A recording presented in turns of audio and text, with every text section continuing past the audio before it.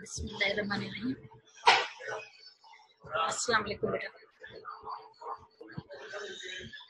Dear doctors, I am Dr. Noreen and today Next.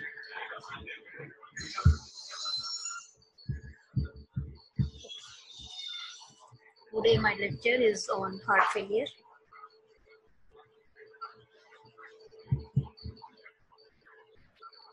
Failure means the actual function of the heart will not perform.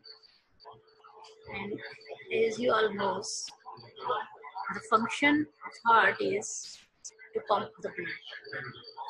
Means it is a pumping machine. So, when heart is unable to pump sufficient amount of the blood to meet the need of the body, it is called heart failure. Why? Heart is unable to pump the blood. There may be some intrinsic injury. Ma'am, your voice is not clear. Okay. Today our lecture is on heart failure. Can you hear me? Yes, ma'am, we can hear you, but the background noise is too loud. नहीं आवाज़ clear नहीं Yes, ma'am, we can hear you, पर background में कुछ noise आ रहा है, इसकी वजह से आपकी आवाज़ नहीं आ रही clear.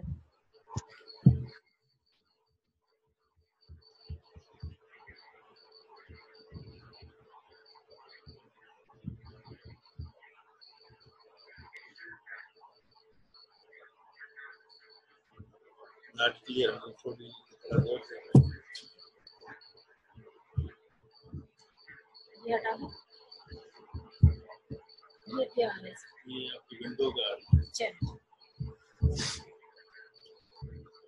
When heart is unable to pump sufficient amount of the blood to meet the need of the body. This is called heart failure means the basic function of the heart is not performing. It is a syndrome. The causes may be intrinsic means there is loss of intrinsic factor like failure of the muscles to contract properly there may be an ability of the myocardium which is called stiffness and results in inability of the heart to dilate properly. And they, along with this, there may be blood outflow problem or infilling of the heart. Whatever the cause, the heart become insufficient to pump the blood properly to meet the demands of the body tissues. Or there is less amount of the blood to be pumped to the body tissues. Means intrinsic function of the heart is lost this is called heart failure it is due to impaired ability of the heart either to fill or to eject the blood. Understand? Hello? Yes, ma'am. Means Yes, ma'am. when heart is improperly eject the blood or fill the blood. The inability of the heart to pump the blood to the tissues is called heart failure. Basic problems in the heart failure. means what are the basic reason when your heart is not pumping sufficient amount of the blood either there is decreased cardiac output. Output is not sufficient. The fluid is normal but the ability of the heart to contract is compromised. Either there is decreased cardiac output decreased contractility of the heart results in reduced body organ perfusion means reaching of the blood to the peripheral tissues become compromised these are the events occur in the heart failure. Pooling of blood in lungs and systemic blood vessels, they also becomes compromised. When less blood reaches to the lungs, there is the less oxygenation. When there is less supply to the organs, there the less oxygen supply to the tissues. Means in both condition, either the perfusion is less or either the systemic circulation is less. The result is hypoperfusion, hypoxia of the tissues. God give us a system which is called homeostasis. Normally, our heart do its best to compensate the cardiac output the contractility of the heart. They are called increase in the heart. If contractility is less, heart try to compensate by the increasing in the heart rate. That is called the tachycardia. Understand? Hello? Yes, ma'am. Yes, ma'am. Means Yes, ma'am. first there is the decrease output, decrease contractility, reduce perfusion, and pulling of blood in the lungs or systemic circulation gets reduced. The heart try to compensate this system by increasing the heart rate. Contractility means intrinsic activity is less, but rate of heart will, will become increased. Understand? Yes, Ma'am? ma'am. What Can are you the- please explain the Hello?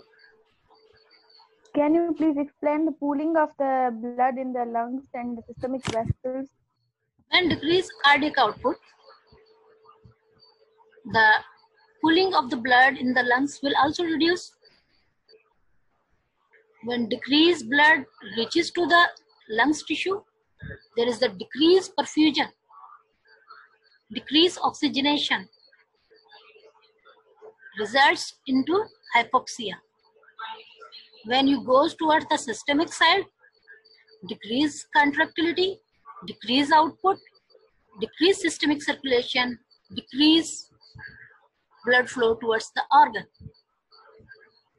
Decreased blood flow also result in decreased oxygenation of the peripheral tissues.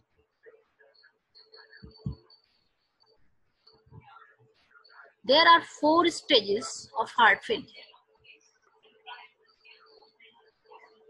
Number one, patient is normal on ordinary activities, means normally he is normal, but when he or she goes towards the excessive work, there are the symptoms appear. Stage 2, slight limitation on ordinary activities means in first stage there is no limitation but in second stage there is the slight limitation on ordinary activities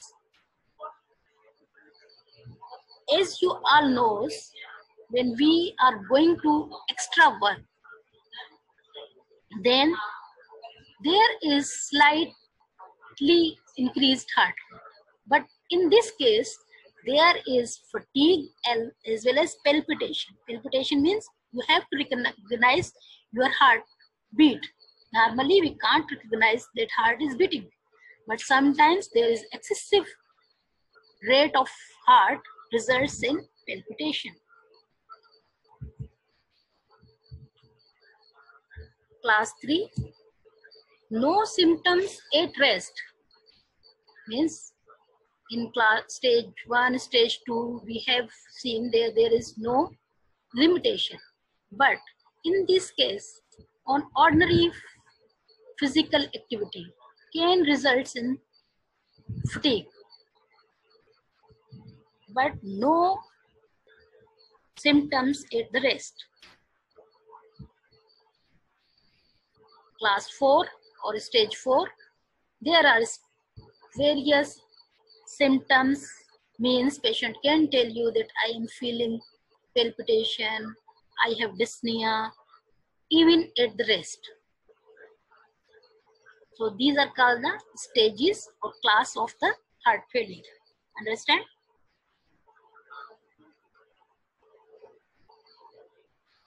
Hello? Yes, ma'am. We understand. You all understand what are the stages of heart failure? Yes, ma'am. We are getting it. Yes, Okay. ma'am. Then there are the types of heart failure. Types of heart failure. Systolic heart failure means during the contraction of the heart, there is the less amount, less amount of the blood is ejected from the left side of the heart. Means this heart failure is the failure of contraction.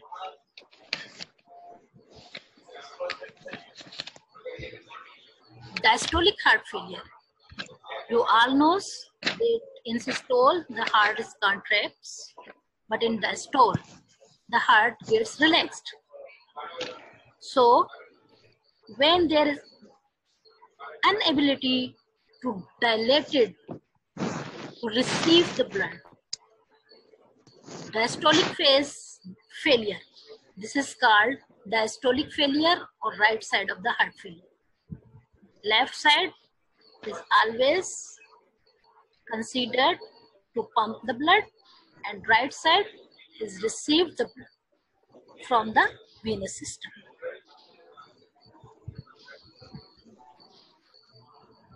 High output failure.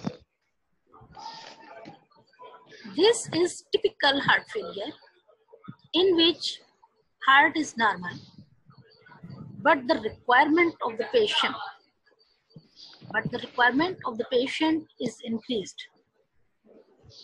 They are called hypermetabolic states. You all knows what are the hypermetabolic states, like hyperthyroidism,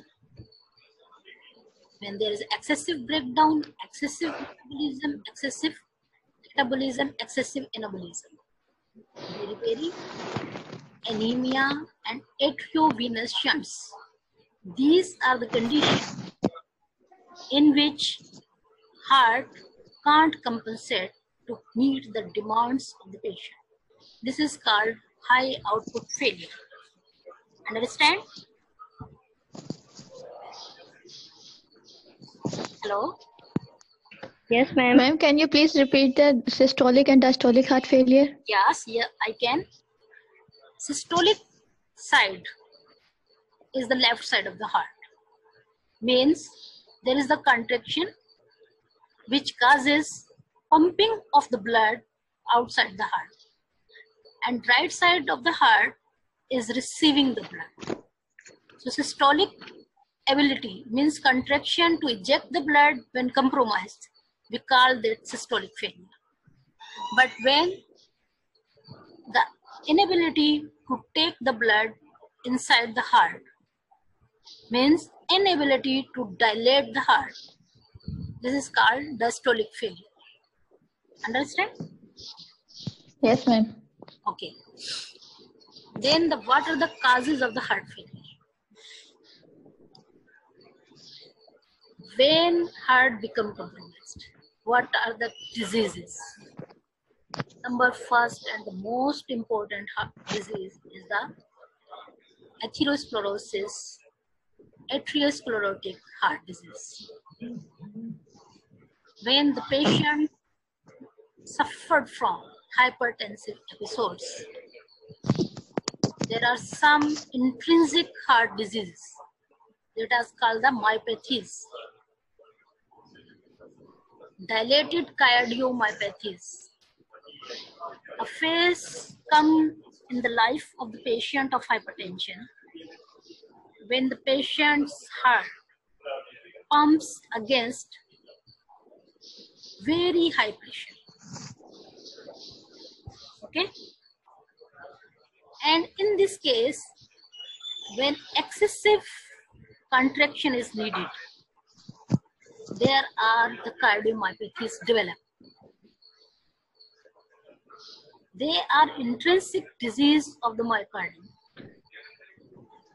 and they result in the heart failure.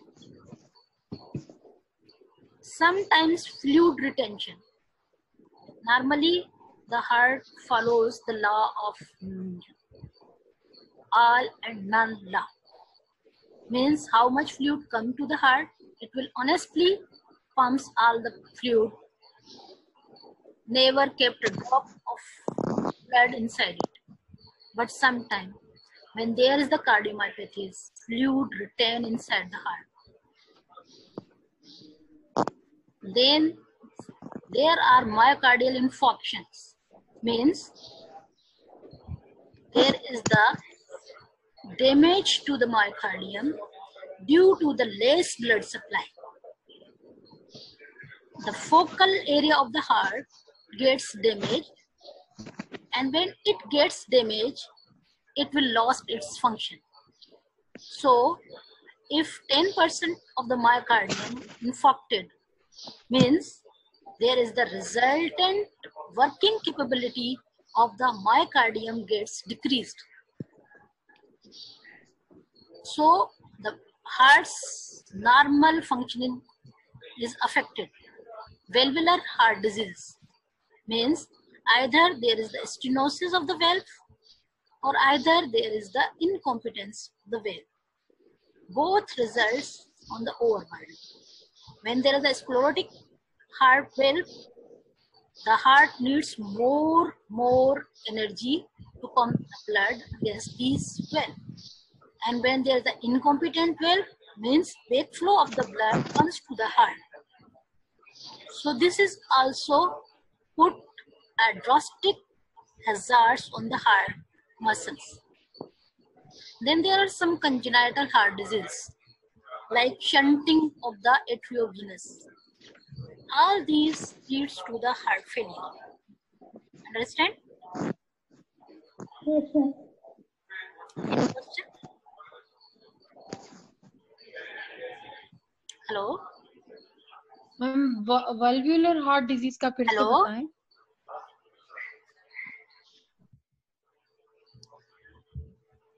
Most common cause among all these are the coronary heart diseases. Coronary arteries, they are specific for the blood supply to the myocardium. When they gets compromised, the heart activity is also compromised.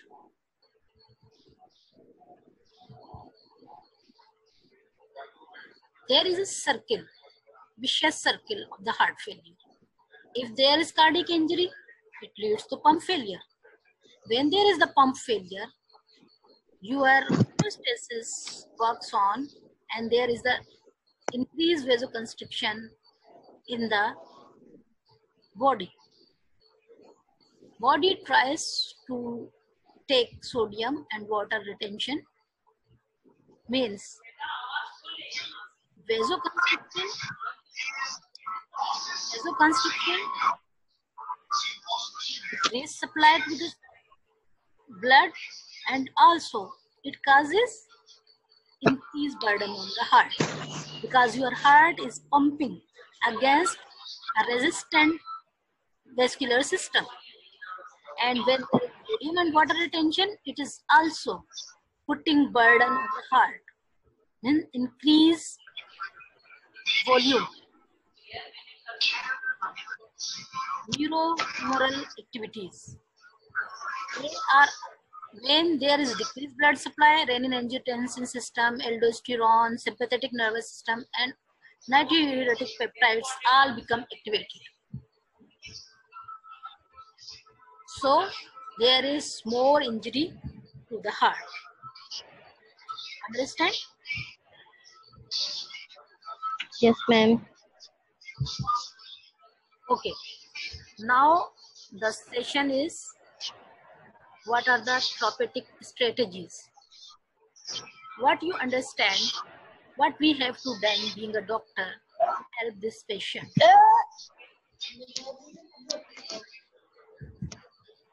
Increase the strength of the cardiac contraction. How? We have to give, we have to give drugs to the patients which increase Roll number one eighty-two. I know problem. Shine, mute your mic and video.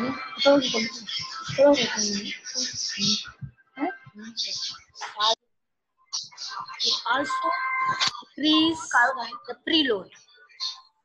How to reduce the preload? You reduce with diuretics means you decrease the volume and the vasodilators to decrease the vasoconstriction.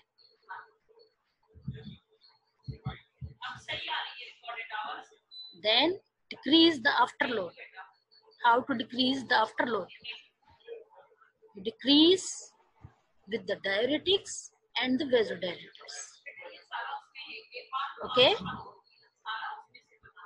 First drug is to increase the strength of cardiac contraction. They are called inotropic drugs. And second drug is the decrease the preload. And third one is the decrease afterload. Drugs with positive inotropic effects. They are called cardiac glycosides.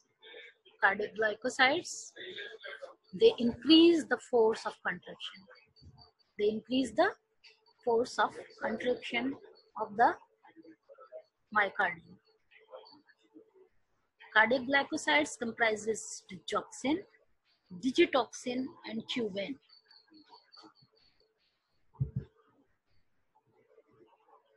Bipyridines, 5,4-di- phosphodiesterase inhibitors, they also increases the force of contraction. Milrinone and the inamrinone. Okay.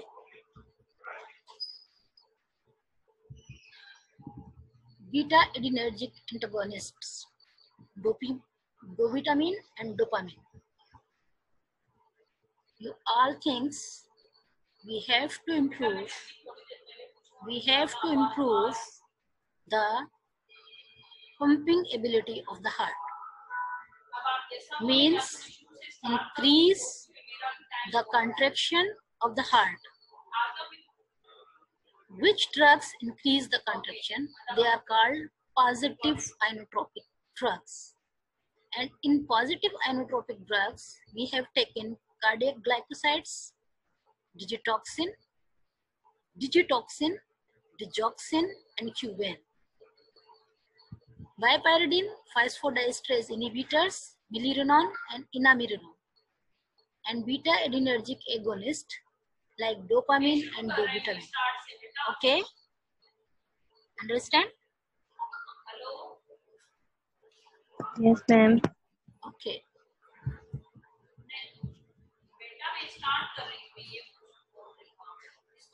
Then we have to reduce the preload or afterload. These are the drugs, they have negative inotropic effect means that does not increase the contraction of the heart but their function is to decrease the afterload or the preload not the intrinsic activity of the myocardium these drugs are diuretics among the diuretics thiazide diuretic furosemide and spironolactone angiotensin antagonist. They are captopril and losartan. Beta blockers, bisoprolol and metoprolol. Vasodilators, nitrates and hydralazine. They don't have positive inotropic effect, but they decrease the preload or the afterload. Understand? Yes, ma'am. Okay. Yes. Now two days focus on the cardiac glycosides. Today focus on the cardiac glycoside. You should have a grip on the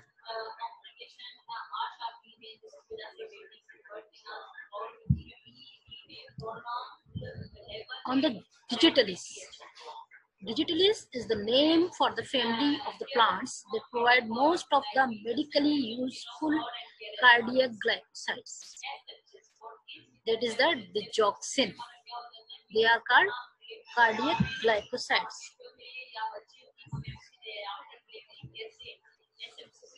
Its history is, is obtained from the foxglove, Digitalis lanata and Digitalis purpurea and other plants.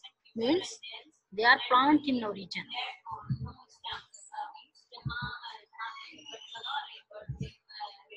The digoxin is the prototype of drug. Means all the drugs are compared with this digoxin. This have a combined steroid nucleus linked to the lactone ring at 17 position and a series of sugar at carbon 3 of the nucleus. Means this is the chemistry of the digoxin. When you see the molecule of the digoxin, you find that there is a lactone ring at the 17 position and series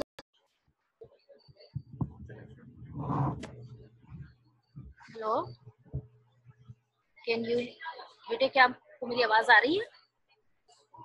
Yes ma'am hello yes ma'am मेरी आवाज़ आ रही है?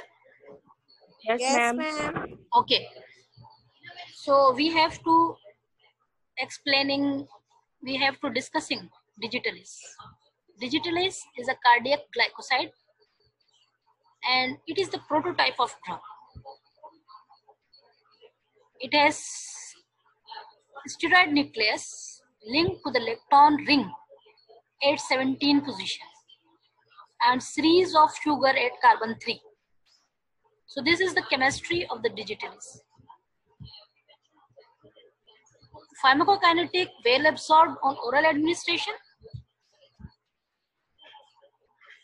Enteric bacteria inactivated so we have to enteric coat it to these digitalis antibiotic can increase in bioavailability and there is the narrow safety margin.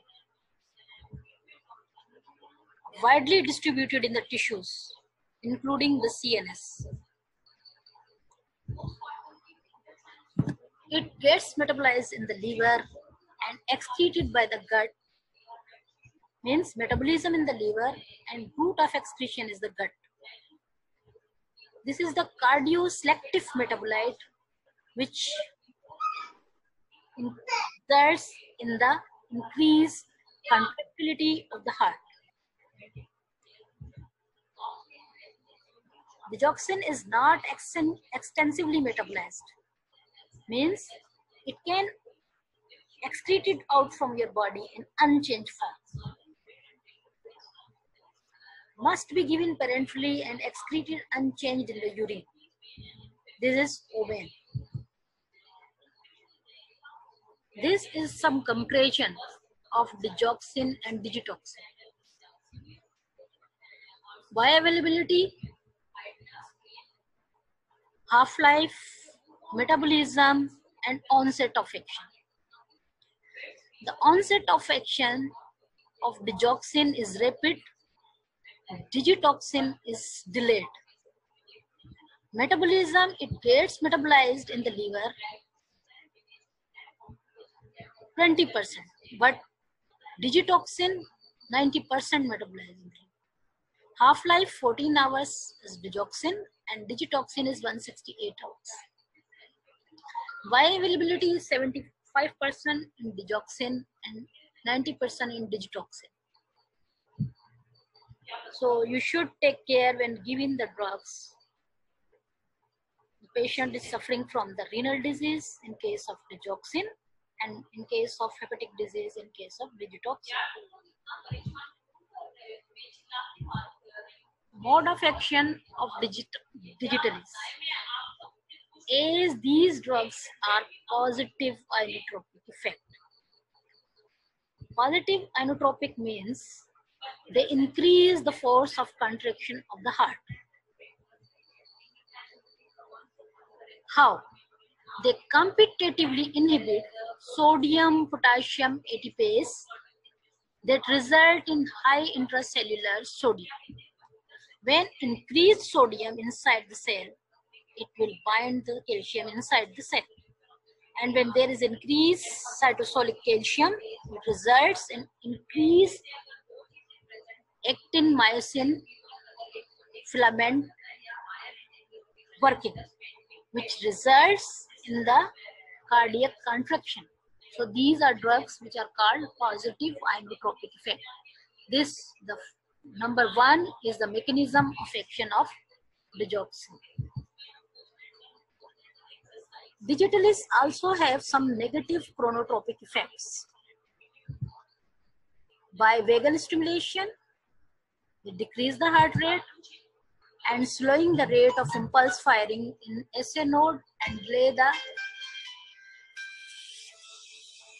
and delay the conduction through the AV pathway. Net result, positive inotropic effect, increased cardiac output, decreased venous pressure, decreased workload on the heart. Decrease the heart rate, also have diuretic effect. Means, hello, आवाज आ रही बेटा? Yes, ma'am. means digitalis have three effects mainly. First, increase the force of contraction. Second, decrease the heart rate. Fourth, it also have diuretic effect. Means it causes relieving of the edema. Understand? All these factors, they contribute or improve the contractility of the heart. So the indications are congestive heart failure, means inability of the heart will controlled, and as it decrease the heart rate, ma'am फिर चली गई।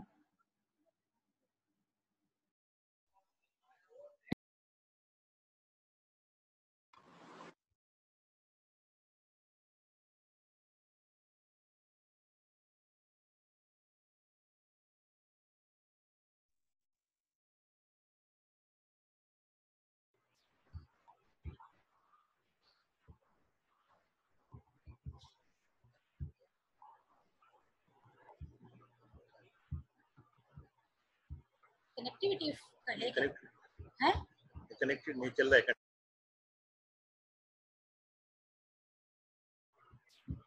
Digital skill उस पे चलिए तो हाँ बस as this drug increases or improves the contractility of the heart. So this is the drug is used in congestive heart failure. And the second mode of action is to decrease the heart rate. So it can also use in atrial flutter, fibrillation, and paroxysmal supraventricular tachycardia. Understand? Understand?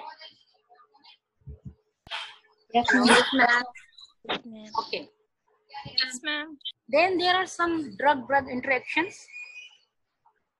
Means when you are giving the drug with the potassium, they inhibit each other, binding to the sodium potassium ATPase. That is the main function, mechanism of action. So inhibit the action of the glycoside. Normal cardiac automaticity is inhibited by the hyperkalemia. So increased extracellular potassium reduces the effect of digitalis. Calcium ion facilitates the toxic action of glycosides. clear. Magnesium ion appear to be opposed to the calcium. Hypomagnesemia is risk factor for the arrhythmias. Ma'am Understand? बहुत speed हो गई Okay. There are certain minerals which interact with the digitalis. Understand? Yes ma'am the minerals potassium calcium and the magnesium what potassium does? They inhibit each other's binding to the sodium potassium. We have to focus that sodium potassium ATPase is the main site where the digitalis act. But potassium inhibit its binding. So it inhibiting the action of the glycoside. Understand? Yes, sir. Okay. Calcium facilitate means when you are giving the calcium, there is already increase intracellular calcium, so it improves the function of digitalis. Understand? Hello? Yes, ma'am. Okay. Magnesium ions appear to be opposed to the calcium. Means hypomagnesemia is risk factor for the arrhythmia. These are some minerals. They cause drug-drug interaction with the digitalis. Understand, beta? So the precipitating factor for the toxicity of the digitalis is electrolyte dis- disturbances like hypokalemia, hypomagnesemia, and hypercalcemia. Hypomagnesemia, hyper, hypokalemia, but hypercalcemia. Drugs, quinidine and verapamil. These two drugs increase the toxicity. Other factors, hyperthyroidism, hypoxia, renal failure, and myocarditis itself. They can causes the toxicity of the digitalis. Understand? Hello? Yes, ma'am. What are the toxicity clinical features of digitalis toxicity? GIT is the most common site of digitalis toxicity, means anorexia, nausea, vomiting, diarrhea. As I have told you, that they can easily cross the blood-brain barrier. So CNS side effects are also pronounced, like headache, fatigue, confusion, blurred visions, and the cardiac effect.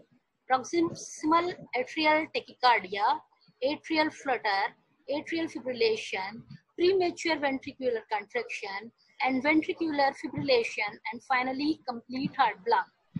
They can be result in the toxicity of digitalis. Digitalis causes chromatopsia with overdoses, like patient appears yellow. So congestive heart failure can be treated with stop digitalis, potassium depleting diuretics, lignocaine for ventricular arrhythmias, phenytoin for ventricular and atrial arrhythmias, and atropine to treat the heart. And G.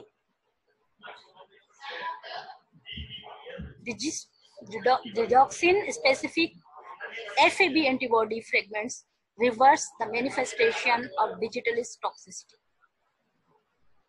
This is the treatment for the toxicity of the digitalis. Congestive heart failure. What are the contraindication for digitalis? Obstructive pericarditis and idiopathic hypertrophic subacute aortic stenosis. these two are the contraindication you haven't given digitalis in these two conditions constrictive pericarditis and idiopathic hypertrophic subaortic stenosis.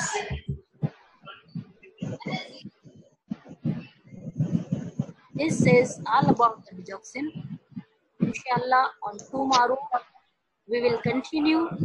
Same lecture on heart failure and we will finish the chapter inshallah next morning. Thank you. okay? Inshallah. allah hafiz ma'am ma'am do share the PPT जी। जी। बेटा। Side share कीजिएगा WhatsApp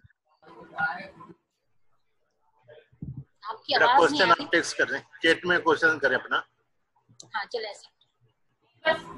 If you have any question you can ask chat okay?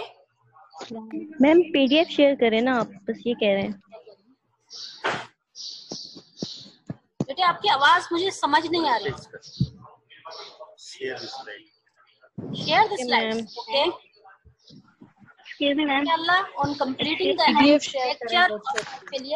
I will share with slides with you ma'am okay thank you ma'am thank you thank you ma'am